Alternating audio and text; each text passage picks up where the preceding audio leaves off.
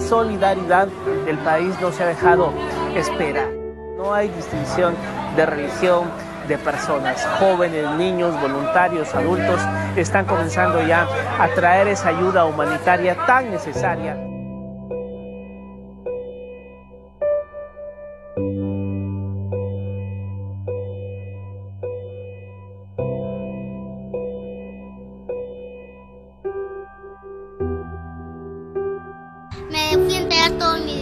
Lo que acaba de vender bien, lo fui a entregar y ya puse los cinco pesos.